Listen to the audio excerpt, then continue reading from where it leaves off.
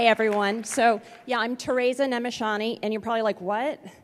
Um, yeah, that's from Austria Hungary. My parents immigrated from there, and if you are from there as well, you would pronounce it Nemessany Tereza.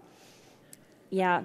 Um, my parents actually immigrated from Czechoslovakia. And if you're from there, um, or you're my age, then they probably came around 67, 68. Your dad is probably a badass engineer, and your mom was probably a vixen, and she may have been involved in avant garde art. In my case, she actually worked on the first interactive film ever.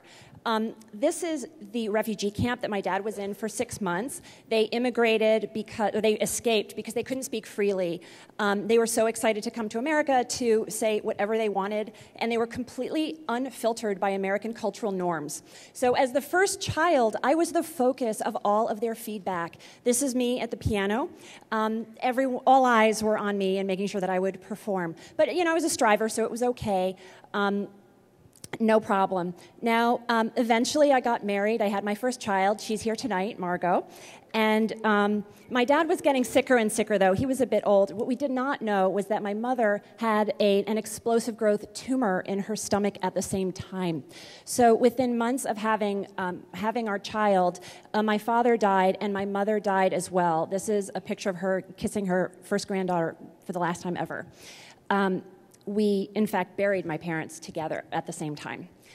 Um, it was a, a, being from a close family, it was very lonely and very hard.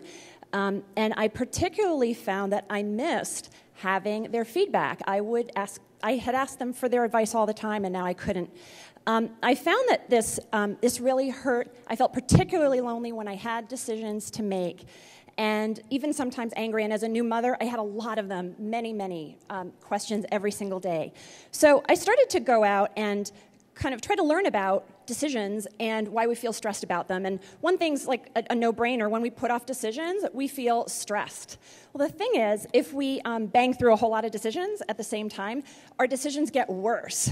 Oh my God. Like, this is a problem and it will drive you crazy. It does, yeah. So how do we solve this? Well, I also started to learn about something called eustress, which is the positive stress that we experience when we play a game.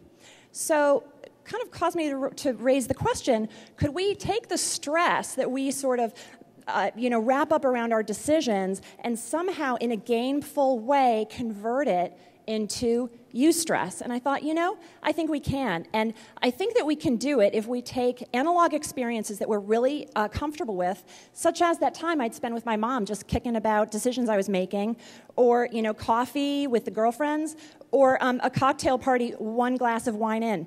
So we built it, and it's all about asking great personal questions and pulling them into one place. And um, so at this point, I've looked at like many, many, many, many personal questions and have become obsessed about what makes a great question because they're not all created equal. So I wanted to share with you tonight is what makes an awesome question? What makes a good question? The kind that will change you and make you yourself but better.